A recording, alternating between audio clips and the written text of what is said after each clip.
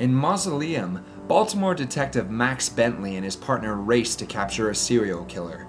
Over the past year, eight people have gone missing from the community of Dundalk, and now the latest victim is Max's own sister. Bently has struggled to come to terms with the death of his infant son, the recent passing of his father, and separation from his wife. Now, this. Max must find personal balance while dealing with the horrifying crimes plaguing his hometown.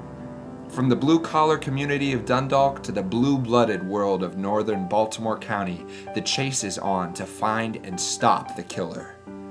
But when Max sustains a serious head injury, he ends up in a coma during which he hears strange voices. He awakens to shocking news and a surprising twist you will never see coming. Mausoleum, by the mother and daughter writing team of Abelina P. Kraus and Jane L. Moxley. Available on Amazon.com and other online retailers, or directly from the publisher.